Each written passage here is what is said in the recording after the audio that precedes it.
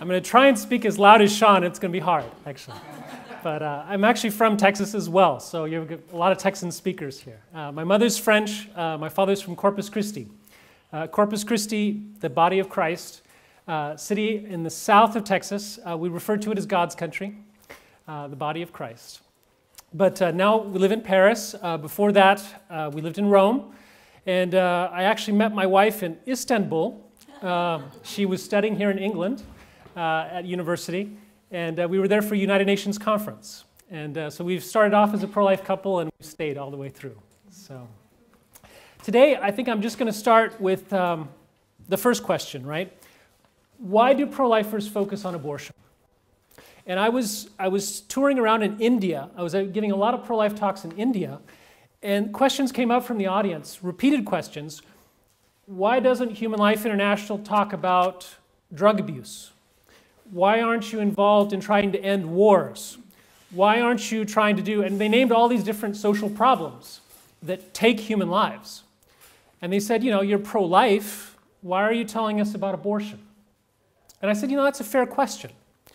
We don't identify as anti abortion, we identify as pro life. So, why is it that we end up speaking about abortion so much? And as in you know, all good questions, there's a good answer. Uh, when you're trying to save lives, you have to prioritize. And there is nothing in this world that takes as many lives as abortion. How many people died of abortion last year? Who here in the audience knows? Best guess.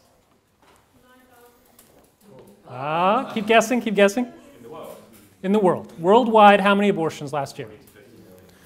Correct answer. Correct answer. Over 40 million abortions last year worldwide. And of course, a lot of this is estimated. We don't know for sure because a lot of abortions don't go recorded. A lot of abortions happen illegally in different countries. So we're just estimating here 40 million. Do you know what the leading cause of death? The leading cause of death after abortion is? Worldwide, heart disease. 7.4 million people died worldwide of heart disease, and that was the leading cause of death last year, except for abortion. In the United States, 600,000 people died of heart disease. A million people died of abortion. In England and Wales, last year, over 60,000 people, again, leading cause of death was heart disease. Over 60,000 people died. In 2014, 184,000 people died in England and Wales of abortion. Now, when I was looking at the statistics, I was quite surprised because there was England and Wales and then Scotland. And Scotland is, seems not in the same country almost, uh, but the, the statistics are kept separately. It's interesting to see. We have to prioritize. I mean, where are people dying? I mean, what is, what is the number one problem today in terms of who's being killed? If you're truly pro life, where are you going to go to save the most lives? And abortion just wins hand down. Now, how many people have died in the entire AIDS pandemic? Since the very beginning of the AIDS pandemic to the present, how many people have died? Best guess 39 million people. So, from the 1980s, over three decades of AIDS, one of the worst epidemics in the history of the world, 39 million people have died. And it's horrific, and people are mobilized to put an end to the AIDS pandemic, and they should be. But that's less than one year's casualties of abortion.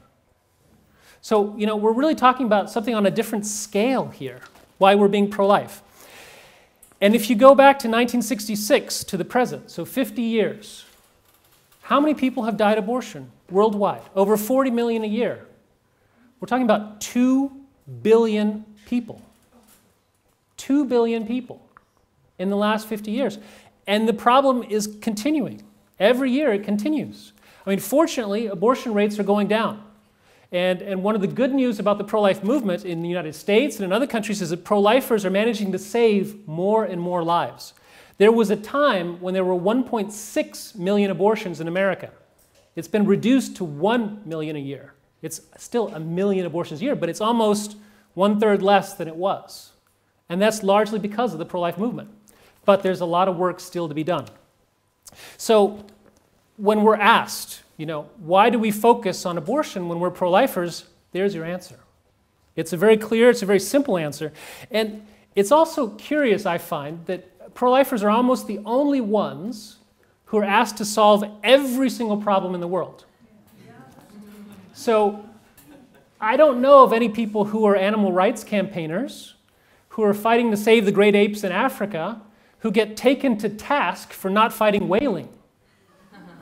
No, people don't say you're fighting for the great apes, then you don't have to deal with the whales. You know, someone else will do that.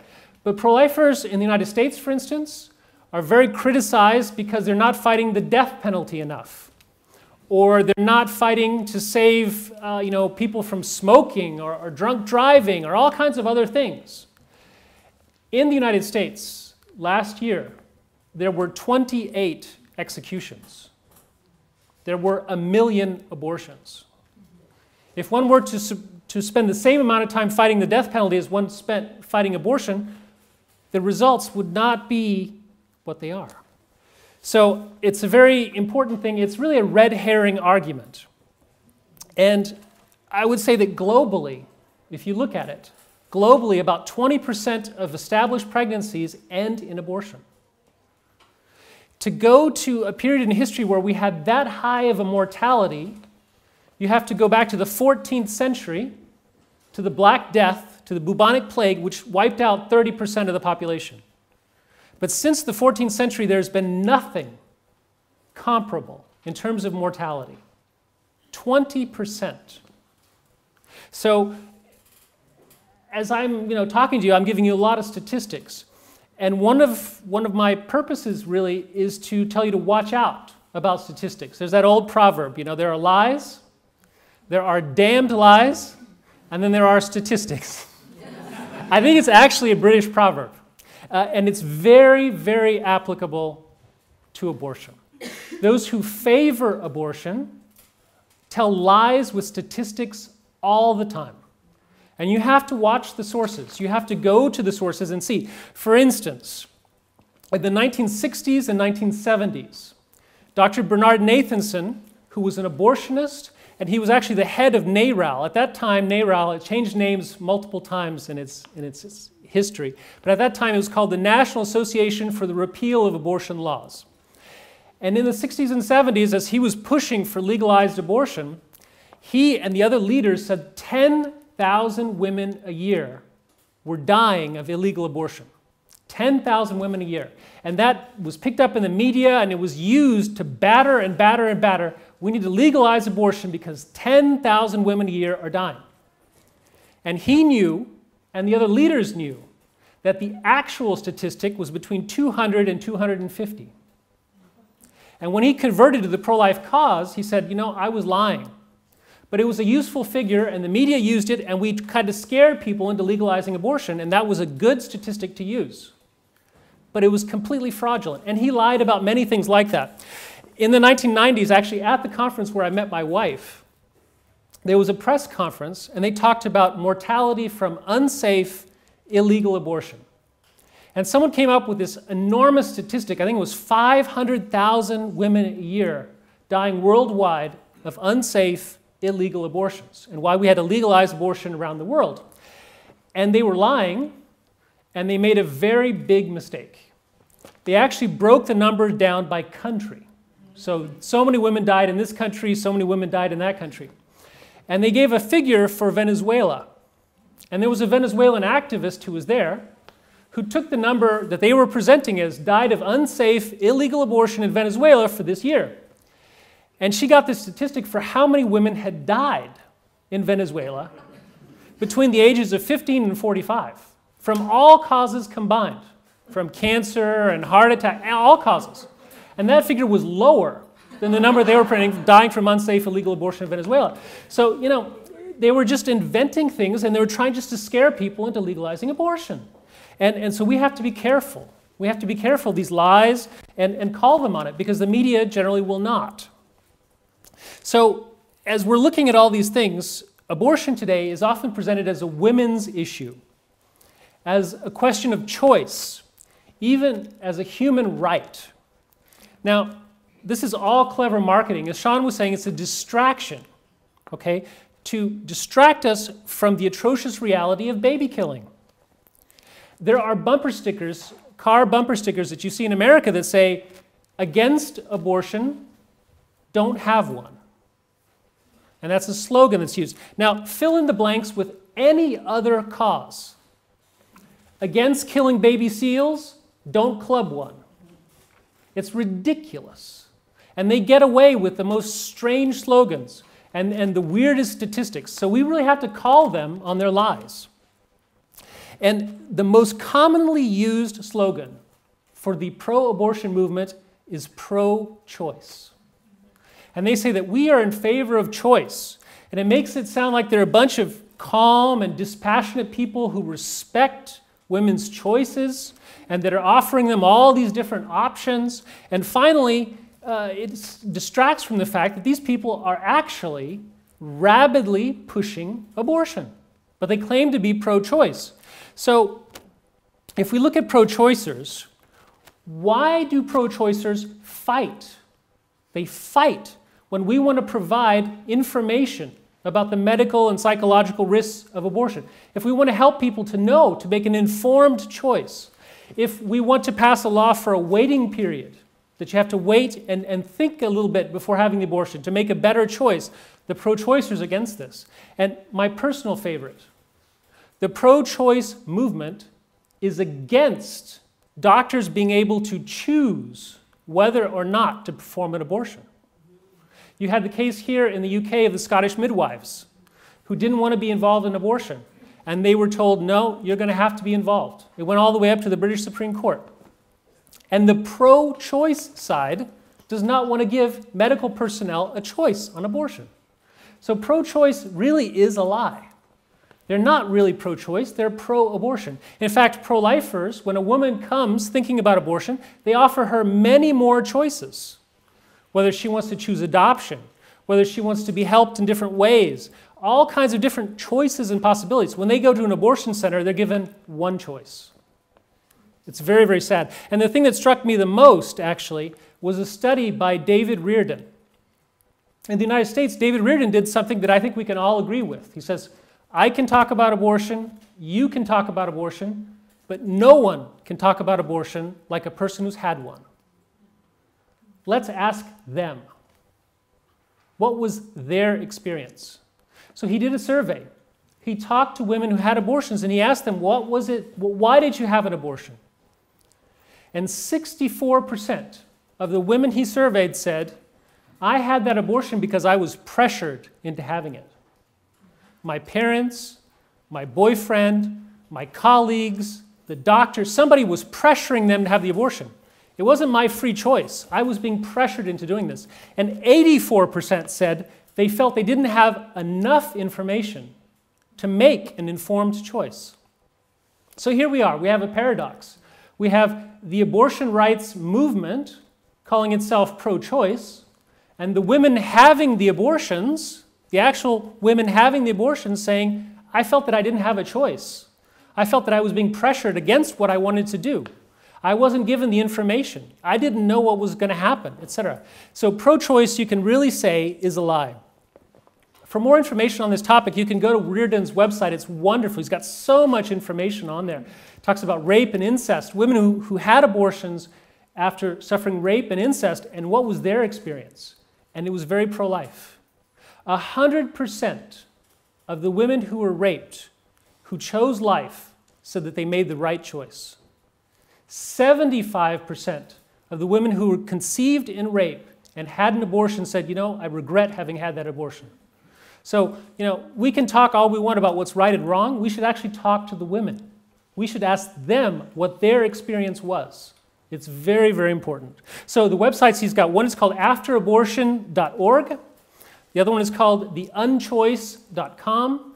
It's Dr. David Reardon. He's very, very good. He's constantly publishing new and interesting things. And, um, and we just have to. Yes, absolutely. The afterabortion.org and theunchoice.com. And afterwards, anyone can come up to me if you didn't get that down. Um, the other, other lie is pro woman. that the abortion movement is pro woman is a complete and utter fabrication. And I have the proof of this. Who here is familiar with sex selection abortion? We've heard about sex selection abortion. And what is sex selection abortion? It's when the father or the mother or both discover the sex of their child before the child is born, and they decide they don't want to have a child of that particular sex. And in the real world, the world we live in, most of the time it's a baby girl that is being sex selectively aborted. There have been over 100 million little girls aborted because they were female, because the parents did not want to have a baby girl. Now, if that is not discrimination against women of the worst possible kind, I defy you to give me a better example of worse discrimination against women. And the pro woman organizations, the pro abortion organizations, most of them do not fight sex selection abortion. In the United States, when they were passing laws against sex selection abortion, Planned Parenthood, oh, we're against that. All these feminists, we're against that. Okay, so which side are you on? The side of the girls, the side of the women, or are you on the side of the abortions? You're not pro woman, you are pro abortion. And if you look at the, the statistics around the world, it is incredible. And the United Nations is doing practically nothing about this. I mean, there are a few voices. There are a few voices, thank God, a few voices from the feminist movement and other places, but they're rare. One of them said, It's the slaughter of Eve, a systematic gendercide of tragic proportions. And it's true. There's a global attack, if you will, on baby girls. And it's particularly centered in Asia. Uh, sadly, uh, in China, for instance, they have certain provinces, the major provinces like Guangdong and Hainan, where they have as many as 130, 135 boys for every 100 girls at birth because the baby girls have been aborted. Uh, the Lancet estimates that between 1986 and 2006, there were 10 million sex selection abortions of baby girls in India alone. And so this problem is all over the world, and I could talk on and on. I could give a whole talk on this. But my point here is that the pro abortion side is not pro woman. Until they come out and say, we are against self, sex selection abortion, we want to pass a law in Britain banning sex selection abortion. Then you say, ah, okay, now you're wanting to defend some women. That's a good thing. Uh, some feminists do come against it, but the vast majority say that they believe that the right of abortion is more important than the right of baby girls to be born. And that is a tragedy. Let's take a little historical look at abortion. I, actually, my, my first degrees were in, in history, and I, I love history. Uh, did you know that some of the first medical instruments that were discovered by archaeologists were curettes for performing abortion, over 2,000 years old.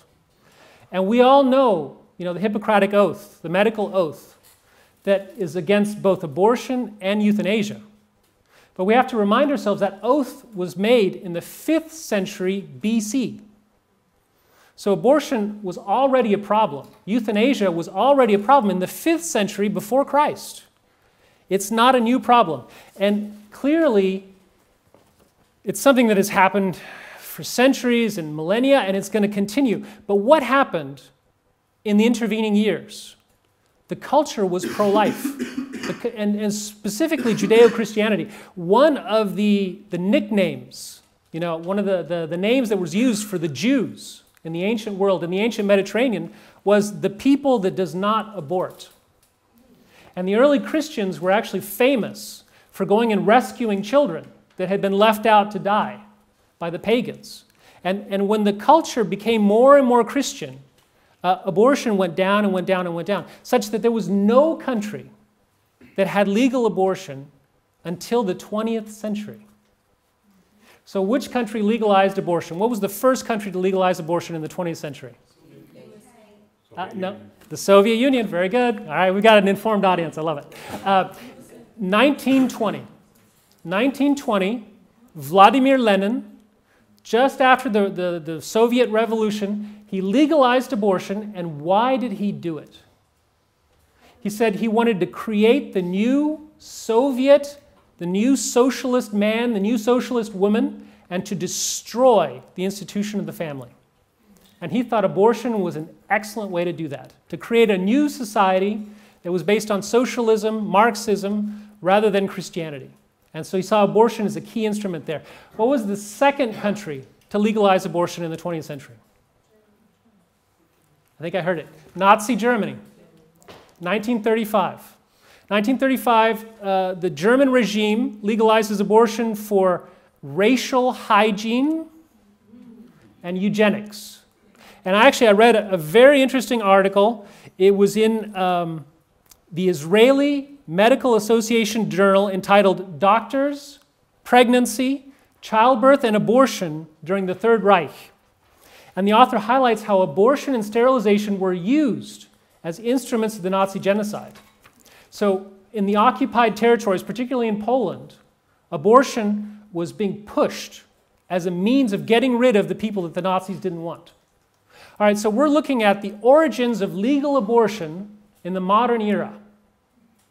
The two most despicable ideologies of the 20th century communism and Nazism. And that's the origin of legalized abortion. Not women's rights, not pro woman, not human rights. In fact, the communist Chinese, from 1978 to 2015, had the one child policy. How many here are familiar with the one child policy? The one child policy, a lot of people, and when I was visiting in China, a lot of people said, you know, they, they didn't realize what the one child policy was. A lot of people thought you could have one child. That was not the one child policy. The one child policy is you could have one child after the government gave you permission. So, what would happen is your village, or your factory would have so many permissions to have a child. And you would petition to have a child, your one child, and they would give you permission. And once you had that permission, then you could have a child. If you were illegally pregnant because you didn't have a permission yet, even if it was your first child, they would force you to have an abortion. Now, today they've decided to change it to a two child policy because their dem- demography is caught up with them, but they're still requiring you to get permission from the government before you can actually conceive a child, even your first child.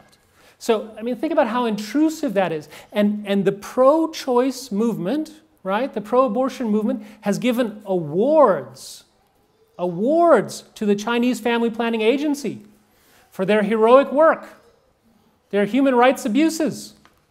And you know, this is, this is what we're looking at. So what happened after that? Right? What happened after the Nazis? What happened after the communists? Well, we had the feminists. Margaret Sanger, the foundress of Planned Parenthood. Of course, the International Planned Parenthood Federation is based here in London. It's the largest global network of pro abortion, abortion promoting organizations around the world. Well, who was Margaret Sanger? She was a bigot, she was a racist. She was a eugenicist. She was a very despicable human being. I mean, here's one of her quotations We should hire three or four colored ministers, preferably with social service backgrounds and with engaging personalities. The most successful educational approach to the Negro is through a religious appeal. We don't want the word to go out that we want to exterminate the Negro population. And the minister is the man who can straighten out that idea if it ever occurs to any of their more rebellious members. And, and the numbers speak for themselves. In the United States, 11% of women are black. 33% of abortions are on black women. I looked at the numbers for England and Wales. There are 8% of abortions in England and Wales in 2014 were on black or black British women, while they represented 3.3% of the population. So, double their percentage of the population in terms of abortion. And Marie Stopes, sort of uh, the UK's Margaret Sanger, you know, she actually wrote a letter to Adolf Hitler in 1939 gushing about how wonderful he was in 1939. She attended one of his eugenics conferences in 1935. And of course, Marie Stopes clinics exist all over the UK and now in over 30 countries. But this is the origin of the modern abortion movement Nazis, communists, and these racist ladies. And, and you know, they even made a stamp to Marie Stopes here in the UK in 2010 as, as this great hero, this great icon. Now, we have to, we have to know this history just to, to show how wrong these people are. And they have a lot of these similar skeletons in their closets. As Sean was saying, you know, Planned Parenthood in the United States was just, was just caught red handed selling the, the organs of the children that they had aborted. You know, and these people have no scruples, no scruples whatsoever. They are literally out there to make a buck. And, and hopefully, they're hoping to get rid of those people that they don't like. There was actually an abortionist in the United States who said, I would do abortions for free if I could be assured that all the people coming for the abortions would be minority populations. You know, so there's, there's a real racism involved in the whole abortion movement. so why am I part of the pro-life movement? Why should you be part of the pro-life movement? So that's kind of a question we should all ask ourselves. I firmly believe in every generation there is one cause, one cause that stands out from the others. If you were living in the early 19th century in Britain and you were not supporting the anti slave trade movement and William Wilberforce, you literally had missed the boat. You had missed the historical cause that was the most important cause at that time. The founder of Human Life International went to go meet St. John Paul II. And John Paul II said, You are doing the most important work on earth. The pro life work is the most important work on earth. I think today it's hard to make a case for any other movement that is the most important movement to be involved in. And I would say as well, you know, this famous quote from Mother Teresa, she actually said this in front of US President Bill Clinton in 1994. It's such a wonderful quote, it's one of my favorites. I feel that the greatest destroyer of peace today is abortion because it is a war against the child, a direct killing of an innocent child, murder by the mother herself. And if we can accept, if we can accept that a mother can have her child killed, how can we tell anyone else, anyone else, not to kill anyone? I mean, if a mother is allowed to kill her child, what's a stranger? You know? It, it, it really does have a corrosive effect on societal morality. It's a powerful, powerful witness there. And I'm personally very hopeful, very hopeful for the cause of life. I mean, I've traveled all over the world and I've met so many pro lifers, and there's a dynamism right now. There's a lot of, I mean, the other side, make no you know, no joke, they are very active and they're pushing very hard and they have a huge amount of money. But there's so many people who are waking up. They're waking up to the culture of death, to what it is and why we have to stand up for it and why we have to stand up for the family. And, um, you know, if you look around the world, there are 117 countries and territories that are below replacement fertility. 117 out of 224. A majority of the world's population live in countries that are not having enough children just to replace themselves. Less than 2.1 children per woman. And in fact, uh, the, the world fertility rate is about 2.36, and it's been falling since 1950. Some demographers are saying that the world, the entire world, will be below replacement in just nine years, in 2025 and the world population will peak at about 8.7 billion and start declining in 2025. But the real question is who is having children? Who is having children? And actually, in the United States, they did a census. We do a census every 10 years. They did a census, and it revealed that the liberal parts of America were having very few children. And the conservative parts of America were having lots of children. And in Seattle, in the Pacific Northwest, which is quite a liberal area, they found that the average household had 45% more dogs dogs than children. And, and you do. In the United States, you sometimes get Christmas cards from people, and you've got the husband and the wife and the dog and the cat. And that's the family. Uh, and, and unfortunately, liberal America is very much in that model, you know, one child or no child. And in a place like Salt Lake City, they had 19% more kids than dogs. So you can, you know, there's even a term for it. The demographer Philip Longman refers to it as the liberal baby bust. Uh, literally, liberals and pro aborts, etc., have so few children that they're literally dying out. Uh, in the USA, 47% of people who attend church weekly, whatever church they attend, say their ideal family size is three or more children. Only 27% of those who seldom attend church want that many children. So clearly, I mean, those who follow the biblical injunction, right, be fertile and multiply, uh, will inherit the earth. And uh, those who embrace abortion and an anti child mentality are literally dooming themselves to extinction. In the US, in the state of Oregon, there's actually a movement. It's called the Voluntary Human Extinction Movement. And it's, a, as you can imagine, it's a pretty liberal movement. And uh, the Voluntary Human Extinction Movement, their motto is May we live long and die out. And the idea is to leave the earth to the other animals, you know, to, to inherit the earth, etc. But clearly, that is a philosophy that has very little future to it. so here's a challenge for all of us, right?